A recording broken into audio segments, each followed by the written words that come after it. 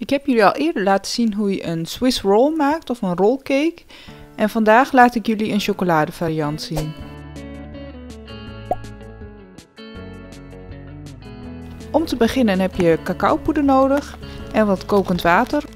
Hier gaan we een pasta mee maken zodat we het beslag een chocoladesmaak kunnen geven.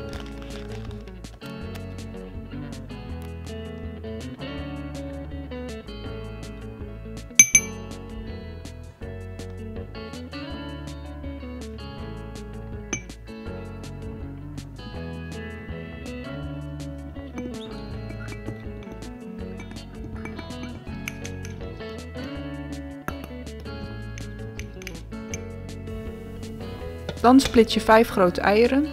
Doe de eidooiers en het eiwit in aparte kommen. En meng dan de dooiers met een klein deel van de suiker. En doe er ook de chocoladepasta bij.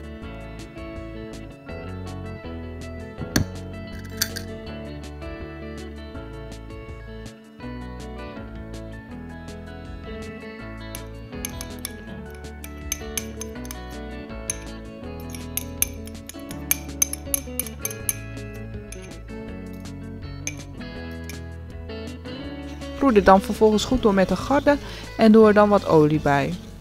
2 eetlepels.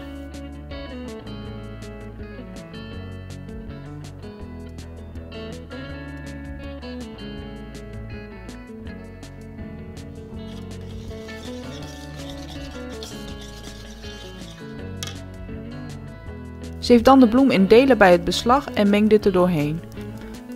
Zorg ervoor dat je de bloem zeeft, omdat je anders klontjes in het beslag krijgt en dan wordt het geen zachte cake.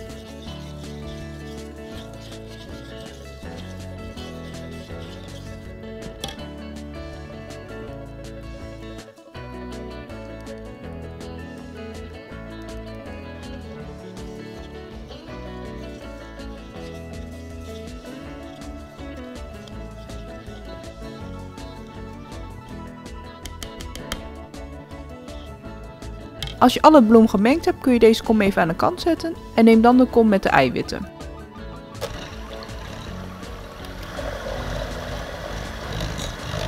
Klop de eiwit tot zachte pieken met de rest van de suiker.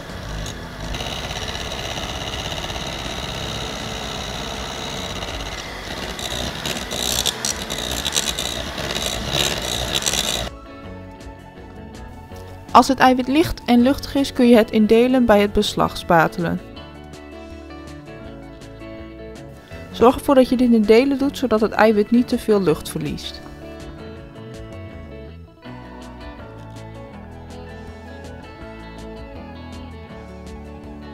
Dan kun je het beslag overgieten in een bakpan en bak de cake vervolgens 23 minuten op 160 graden in een waterbad.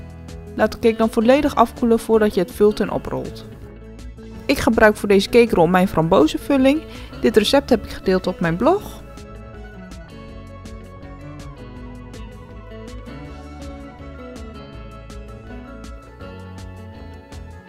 Rol de cake dan op. Het is het makkelijkst om aan de andere kant iets zwaars neer te zetten, zodat de cake niet wegglijdt terwijl je hem oprolt. Ik heb hier een pot met bloem gebruikt.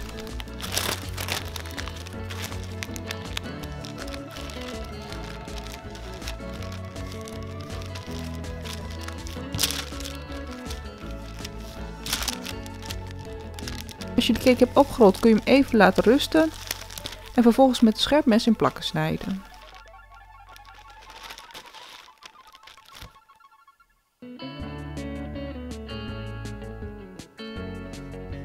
Zo maak je deze prachtige chocolade frambozen rollcake met slechts een paar ingrediënten.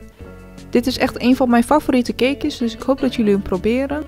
Lijkt het je lekker, geef dit filmpje dan een duimpje omhoog en abonneer op mijn kanaal voor meer van dit soort video's. Bedankt voor het kijken en tot de volgende keer.